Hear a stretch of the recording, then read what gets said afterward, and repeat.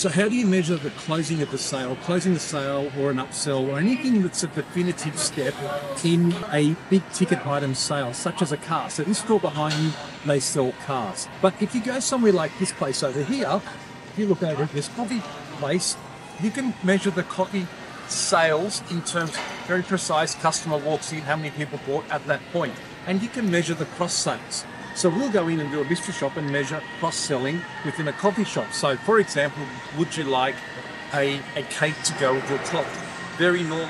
But with a car or any other big ticket item it's very different because you're not going to go in and buy a car immediately and certainly not going to get hot sold. So how do you measure whether the salesperson was effective? Well what they need to do is they need to measure what I call the definitive next step.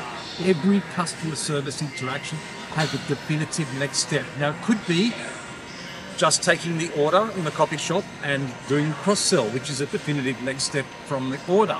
Or it could be in the car dealership. The definitive next step could be to collect the customer's details, and that's all it is. But you've taken a definitive step. You haven't just said something like, oh, have a think about it and come back in when you're ready to buy.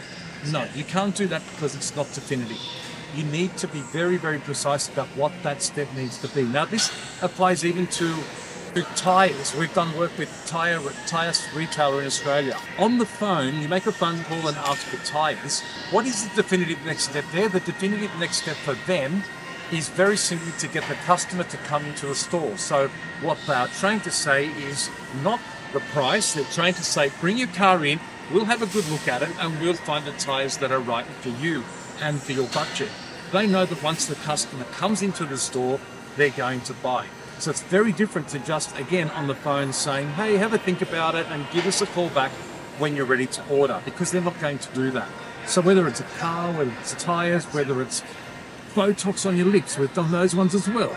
Whenever it's a big ticket item that's not a quick buy like the coffee shop, you need to have a definitive next step. And you have to have that regardless.